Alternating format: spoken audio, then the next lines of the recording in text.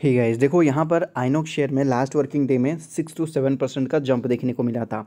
इसके पीछे एक बहुत अच्छी खबर है, जिसके कारण ये स्टॉक भाग रहा है। अच्छी खबर क्या है? पहले देख लो, पिछले एक साल से ये स्टॉक्स ने सिक्सटी टू परसेंट का रिटर्न दिया है, जो कि बहुत ही अच्छा रिटर्न होता है एक साल में। बहुत अच्छे अच्छे स्टॉक गिरे हैं, लेकिन ये अपने फिफ्टी टू वीक हाई पे पहुँच रहा है। क्योंकि आजकल के डेट में अगर आप देख रहे हो तो बहुत सारे ऐसे मूवी है जो हिट कर रही है। बहुत सारे ऐसे मतलब मूवी है जो मतलब one by one one by one मतलब एक गया, दूसरा आ रहा है दूसरा गया, तीसरा आ रहा है। तो मतलब बहुत सारी मूवीज़ अभी आ रही है, जिनके कारण इनको काफ़ी अच्छा प्रॉफिट भी हो रहा अभी देखोगे, कश्मीरी फ़ाइल पुष्पा वगैरह हो गया अक्षय कुमार का वो आया था अक्षय कुमार का ये है तो मुझे मैं मूवीज़ नहीं देखता ना तो ज़्यादा मुझे पता नहीं उसके बारे में। तो मतलब बहुत सारे अभी आ रहे हैं इतना तो है।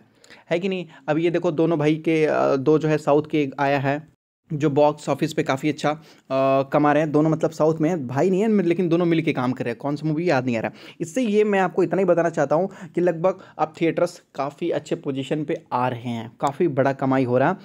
पिछले पाँच साल में देखोगे तो यहाँ पर ही एक प्रॉब्लम वाली बात थी जो कि लगभग कोविड के कारण ये स्टॉक गिरा था।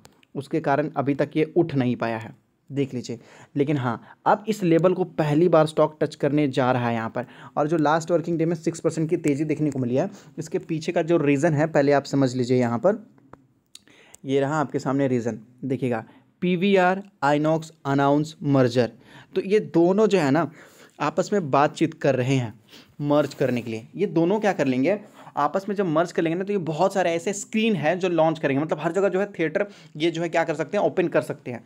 तो इनसे क्या होगा कि इनका रेवेन्यू बढ़ जाएगा, इनकी एक ताकत बढ़ जाएगी। और जो प्रॉफिट आएगा, ये अपने रेशियो में भी डिवाइड कर सकते हैं अपने हिसाब से। इनके जो एग्जीक्यूटिव डायरेक्टर हैं, वो भी इस चीज़ों को अप्रूव कर रहे हैं, क्योंकि उनको भी यहाँ पर प्रॉफिट दिख रहा है। इस वजह से ये स्टॉक्स में काफ़ी बड़ी तेज़ी पहले भी आई है और अभी भी आ सकती है। क्योंकि ये सारे खबर अगर आप देखोगे तो एटीन आवर फाइव आवर और देखिए तो नीचे देखिएगा फोर आवर टेन आवर मतलब ये जो खबर है ना, अभी आया है सैटरडे संडे को तो मार्केट बंद था।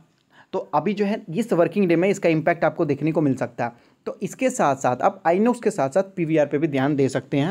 जहाँ तक कि पीवीआर की बात करते हैं तो ये अपने हाई पे तो ऑलरेडी खड़ा है। पूरी हाई पे ऑलरेडी खड़ा है यहाँ पर देखो। कई बार ये भी गिर चुका है, लेकिन ये अपने नीचे से ऊपर जाने की कोशिश ज़रूर करता है। दो हज़ार रुपये के लेवल में ये था स्टॉक्स और गिर गिर के काफ़ी ज़्यादा नीचे आ चुका था, लेकिन अब ये अपने लेवल पे जा रहा है। इसका देखो चार्ट भी अगर आप देखोगे तो ऊपर जाने की ही कोशिश कर रहा है। अगर इस गिरावट को अगर आप हटा देते हो ना किसी तरीके से, इस गिरावट को अगर आप हटा देते हो तो यहाँ से यहाँ जब स्टॉक भागता था ना तो सभी लोग इसको खरीदना चाहते थे, सभी लोग। इनके पास सोर्स ऑफ़ रेवेन्यू और है। इनका सोर्स ऑफ़ इनकम क्या है कि थिएटर के अंदर जो लोग जाते हैं ना, उनको ये लोग फ़ूड आइटम बेचते हैं, कोल्ड ड्रिंक्स वगैरह बेचते हैं। वहाँ से भी लोग काफ़ी अच्छा खासा रेवेन्यू जनरेट कर लेते हैं। तो ये चीज़ होती है तो इस खबर से इस स्टॉक्स पे आप नज़र रख सकते हो। मैं आपको फ्रेश एंट्री लेने नहीं बोलूँगा। हाँ अभी से दिन अच्छा चल रहा तो आने वाले दिनों में अच्छा परफॉर्म कर सकते हैं तो जिनके पास है, आप होल्ड कर सकते हैं।